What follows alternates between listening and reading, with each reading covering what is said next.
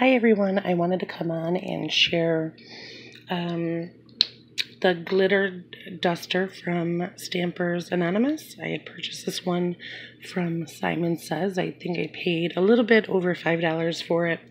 Um, I had recently hauled this and it's my first time using it, so I figured I'd come on and share with you guys if you haven't seen it um, yet. So I just used the Tim Holtz Distress. This one is the Vintage Platinum, like an ultra fine dust. And it, this stuff is messy. If you have it, you know it just gets all over the place. Um, and I had actually went on Simon Says and ordered a few more bottles of these. This way I don't have to keep switching out glitters. Um, because this stuff can get messy when, you know, switching it all the time. Um, so I'm waiting for those to come in. And I used a few different uh, materials, wood, paper flowers. I used metal, plastic. However, I think I just dusted the hell out of my little angel right here. Um, I used a wooden tag, and I also did a little plastic ornament. So I'm going to share those with you guys um, quickly.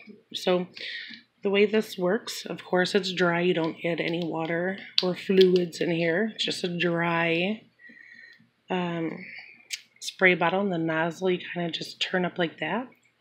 Let me show you quickly. And what I did, you'd have to obviously use an adhesive.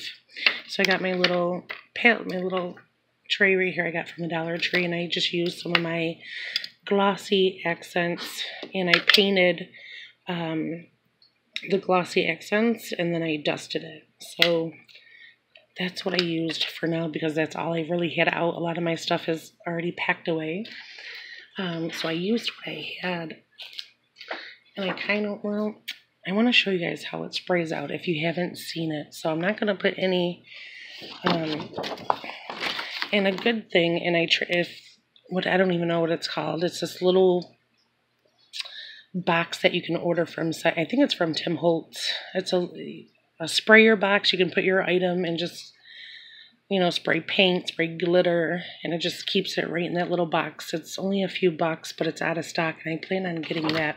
I can probably just use a cardboard box and cut the sides, and it would be free. So, let's see, I'm going to do this. My poor little angel, so. You guys are going to see how it literally just kind of dust glitter all over the place. You see? Ah, oh, I love this. I just don't like the glitter so much. The dust literally gets all over everything. So it's, I mean, it pumps nicely. I haven't had a problem with it. I love that. That's why I had purchased a few more.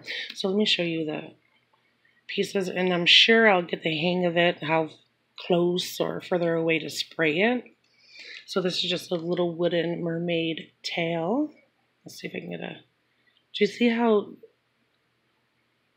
pretty and glittery and shimmery? And it just lays it um, evenly, which I love. So there's the wood piece. This one I dusted a lot, but could you guys see how pretty that is, even on just like paper flowers? And these are really pretty shimmer. Could you imagine? Now, this will be going in another bottle. The Nuvo. This one is the. I shouldn't even be on here with my nails looking like this, guys. Uh, the Snow Glow. It's another ultra um, sparkle dust. This would be so pretty covered um, on projects as well. And I even did a metal piece. Let me show you guys. Do you see how that just left it even? Pretty. Huh?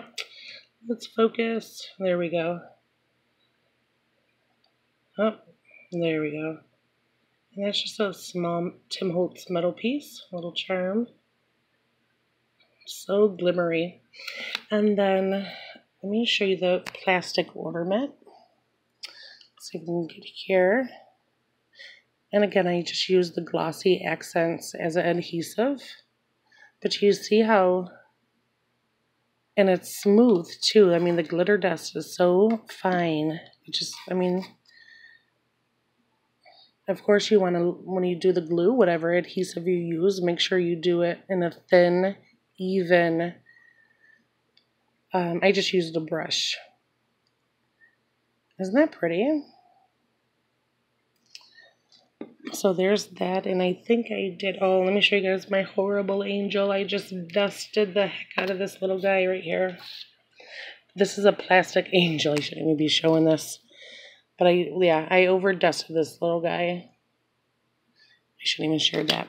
And then paper, and I pulled out just a little die cut I had on hand. Again, used a little, brushed a little glossy accents. Just see how pretty it just lays evenly across. It's so pretty. So I would highly recommend the um, glitter duster. But I would also recommend getting a little box because this glitter can spray everywhere. You should see my area right now. It's glowing. um, but who doesn't like glitter? And then this, let me show you guys. I didn't, if, well, obviously you can see the paint when I use the, put the glossy accent on it, I didn't do it evenly. And you can see that, but do you see that shimmer? Very, very pretty.